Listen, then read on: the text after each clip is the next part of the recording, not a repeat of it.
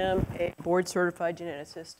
And today I'm representing the American College of Obstetrics and Gynecology. I'm also representing the, the American Board of Medical Genetics. Um, I've been on their board of directors for about five years, and so Mimi Blitzer, who's our executive director, has also vetted these slides as well as the college.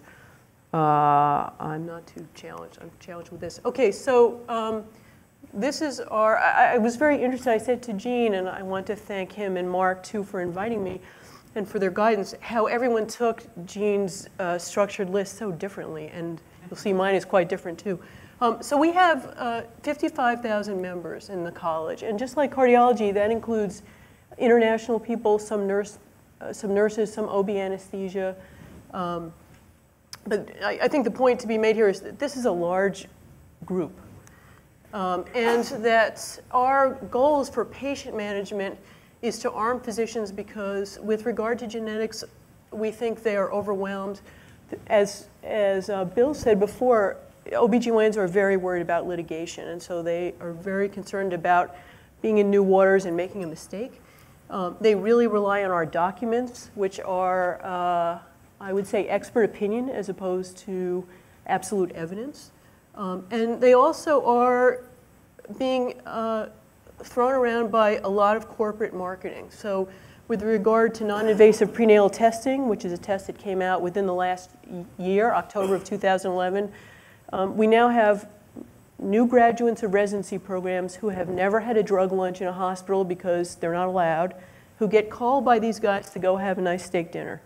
And um, it's very hard, I think, for them to deal with some of this information. Uh, and so the college uh, the Committee on Genetics uh, tries to help manage some of these questions. Um, for the, so for some other examples, for the busy practitioner, I think genetics is viewed as a complex nuisance. It interferes with their time, it's too confusing, and they're very worried about the, the uh, issues that will come out of making a genetic decision. Um, they have little time.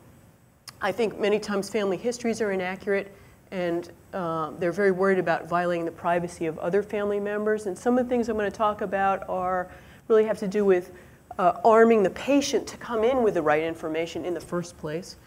Um, there's very limited genetic counseling support, and there's abysmal, of course, genetic counseling reimbursement. And uh, commercial labs, I mean, I live in Salt Lake City, right? So um, lots of financial interest in commercial labs to provide genetic support. We all have stories about the manipulation of patients by commercial labs to order things people really perhaps don't need.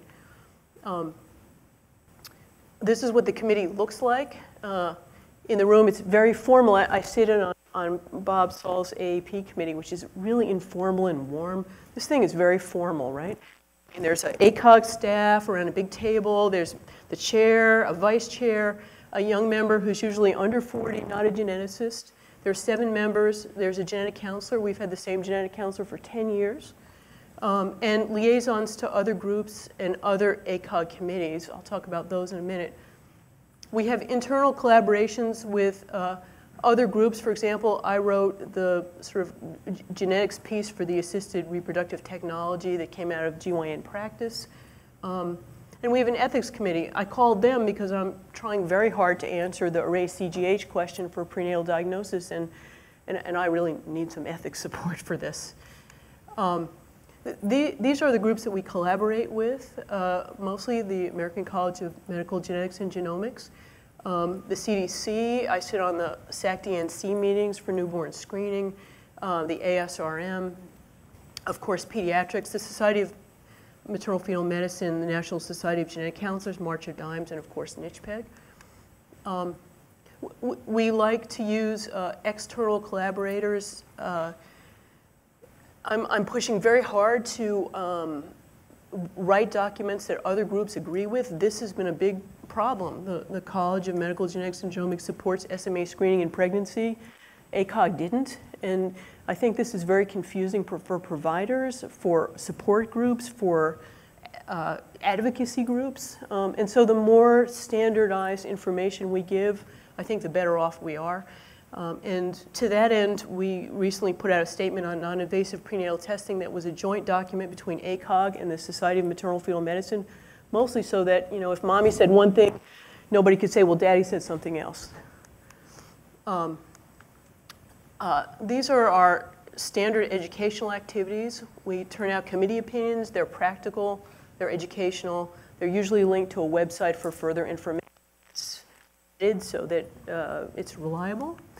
Um, we uh, update, and we just updated our technology assessment document. Um, I'm trying very hard to incorporate genetics at the, ever, at the national meeting that happens yearly. Um, and there's a new um, education director for the college, uh, so I'm meeting with her to try to change that and to work on some of these outside documents.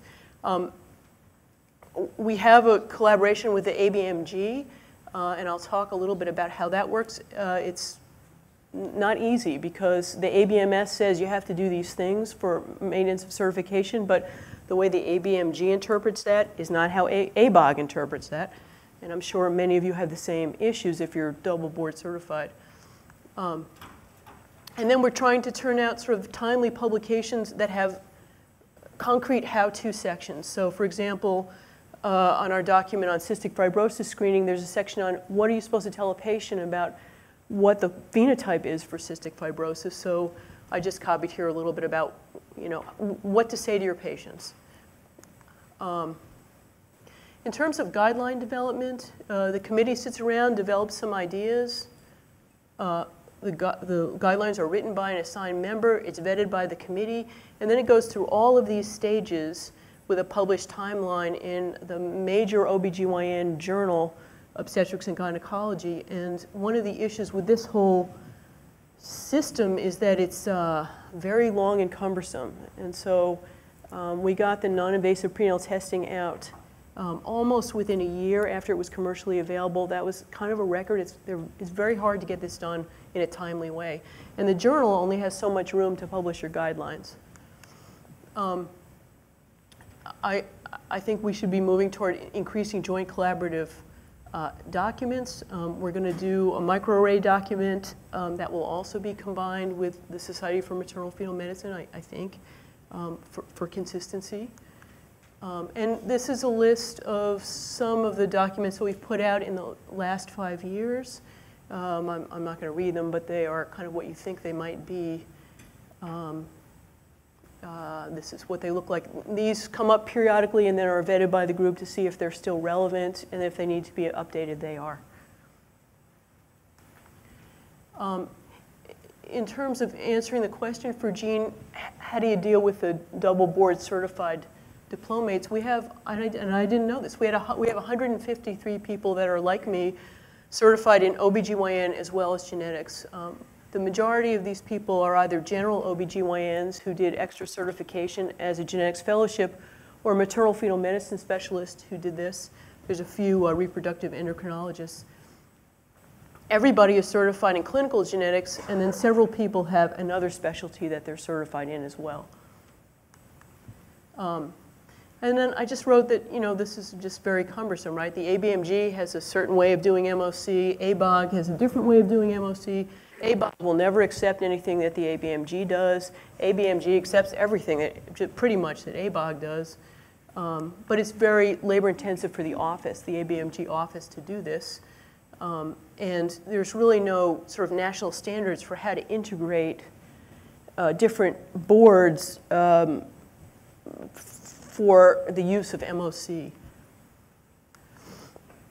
Um, there was an initiative to have an OB genetics residency program that is do two years of, if, in order to do a genetics residency, you have to do two years of a ACGME accredited residency program, and then you can start a genetics fellowship. We've had no, uh, no graduates, no trainees ever. Um, and Mimi thinks that's because it's very difficult to integrate into a surgical specialty, that it's just too hard, and that for the most part, people that are board certified who have an OBGYN degree um, do, do, something that's not surgical, like maternal fetal medicine or, or uh, endocrinology. It's just, this hasn't turned out to be a very viable approach.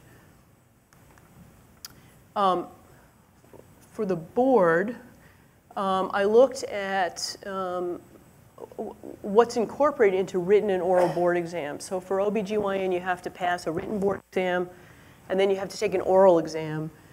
Um, and so I looked at what's incorporated into that, and uh, it all looks right. When you look at sort of the subtypes of these topics, it all looks very reasonable, actually.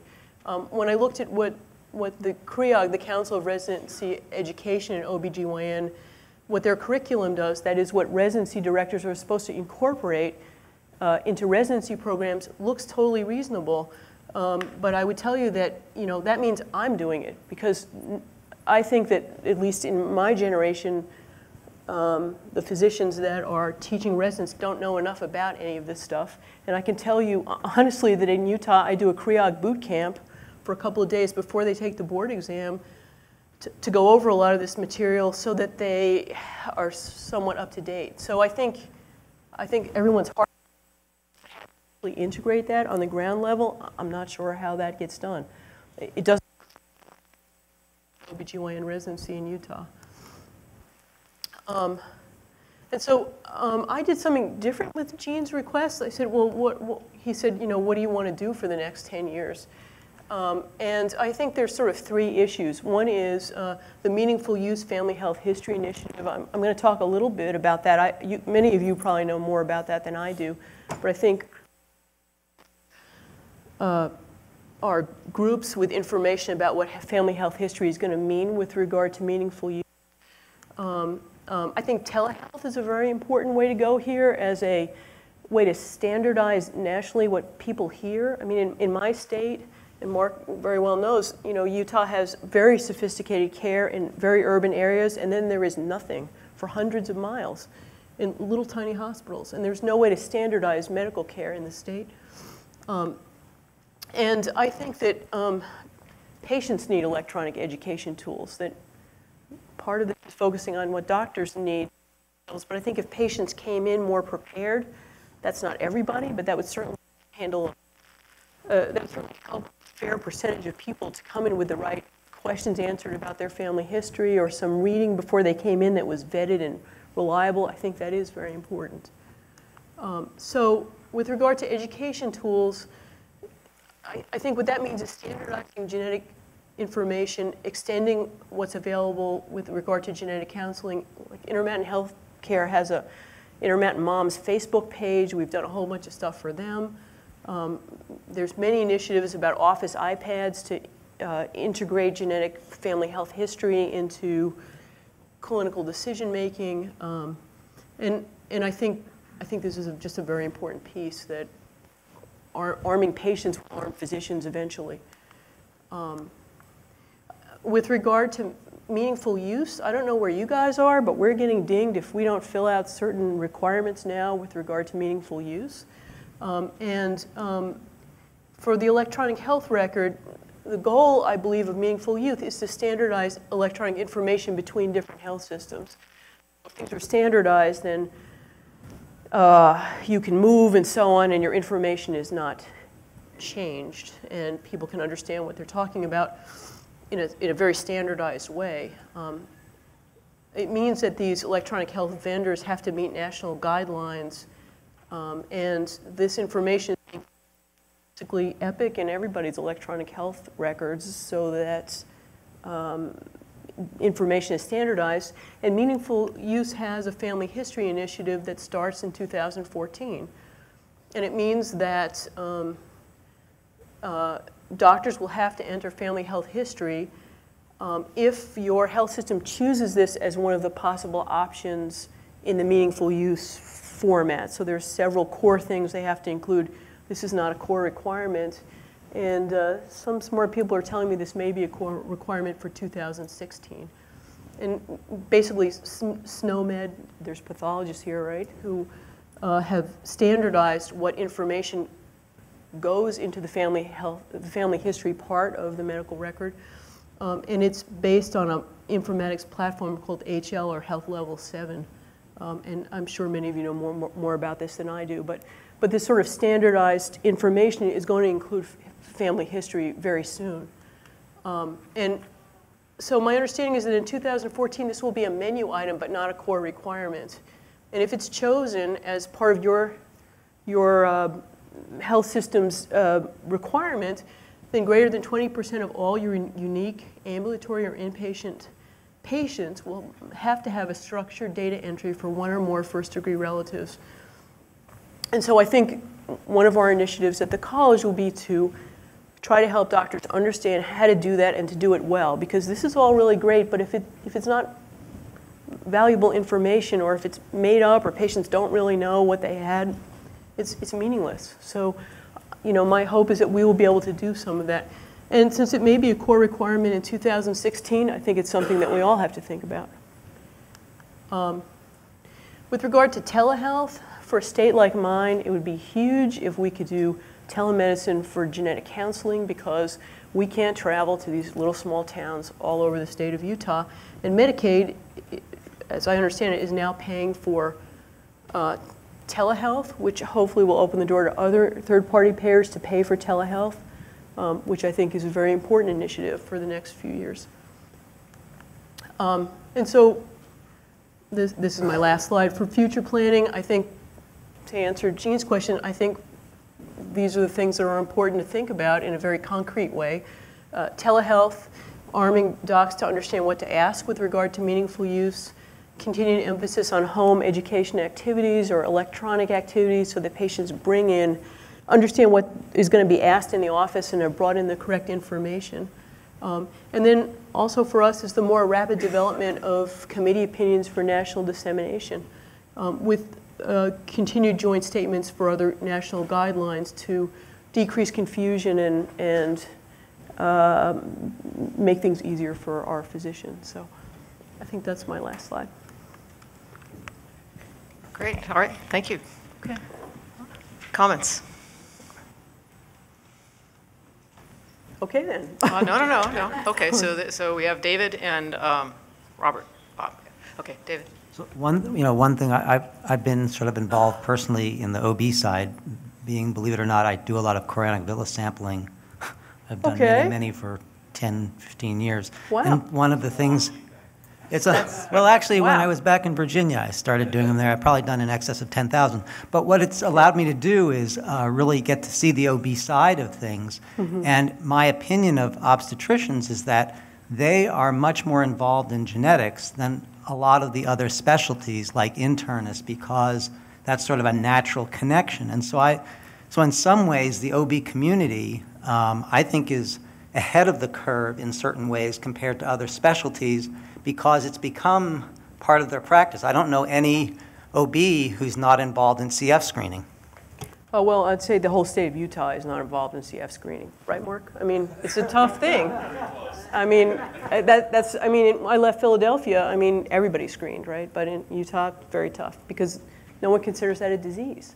And, you know, new, it's in part of newborn screening now, so it's very, that's very hard to change. I, I think one of the very interesting things about OBGYNs is, in obstetrics anyway, docs will take a family history at the first visit and then they will completely ignore it. It will never be looked at again. So if someone has a hypercholesterolemia history, you know, you can't really test for that during pregnancy because the values don't matter. But after pregnancy, they never look at it again. Or if someone has a, a real BRCA family history, you know, they don't really want to deal with that during pregnancy, but then they don't deal with it again. And so um, it's, a- it's a comp, I mean, I, I agree with you, but, but I'm, I'm not sure that they act on it quite as well as they should be. So, Bob.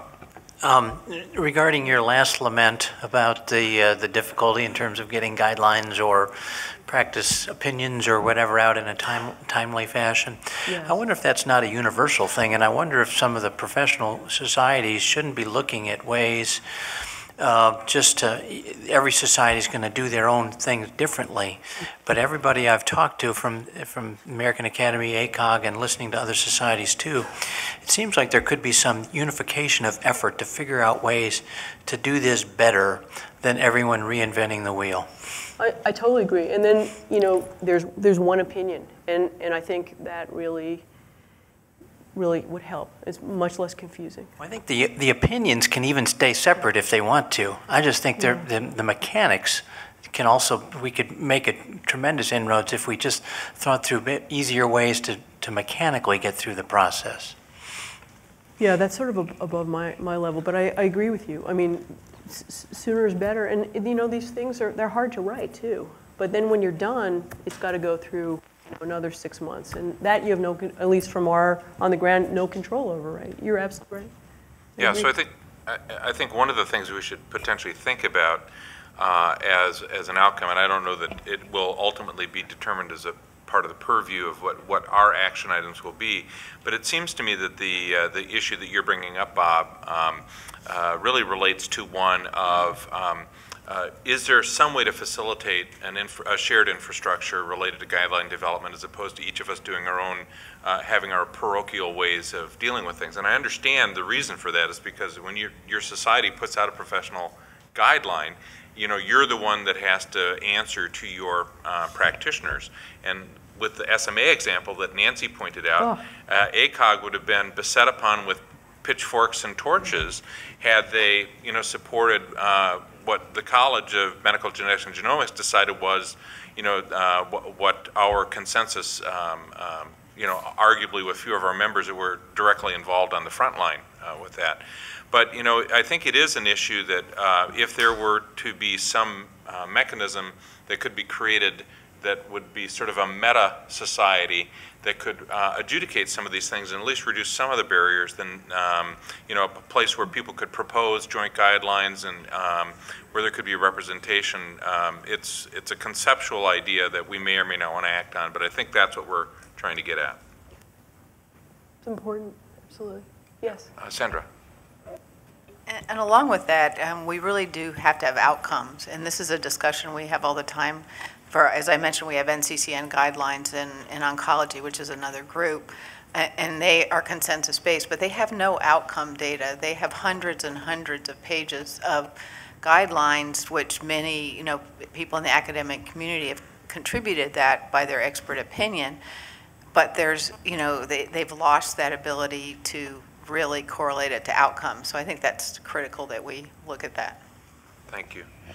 Um, We're going to make an adjustment to the agenda. Everybody has been so phenomenally efficient in terms of both their presentations and, in- and the question and answer period that we're uh, well ahead of schedule. But I think that there's some real rich opportunities for um, uh, group discussion. And so uh, what we're going to uh, propose to do um, is to uh, actually have Erin uh, Ramos from uh, Genome present on the uh, clinically relevant variant resource prior to the break.